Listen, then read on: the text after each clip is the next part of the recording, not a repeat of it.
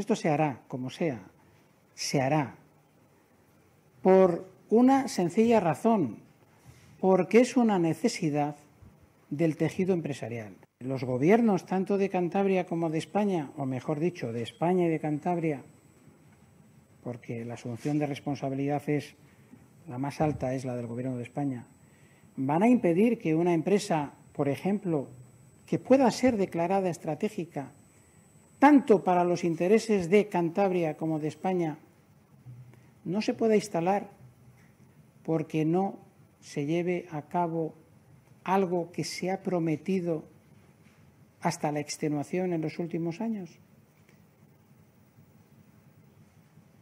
¿Verdad que no? Pues no. Hay prevista una nueva reunión.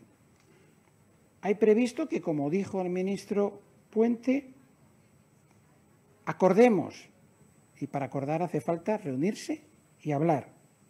Pero finalmente, si la decisión del Gobierno de España es, en vez de estar, como dijo el ministro Puente, no estar, es decir, no formar parte del proyecto, ni de la financiación de la intermodal, como se ha venido diciendo repetidas veces durante todos estos años, será una decisión política, no técnica, porque hemos desmontado todas y cada una de esas supuestas imposibilidades técnicas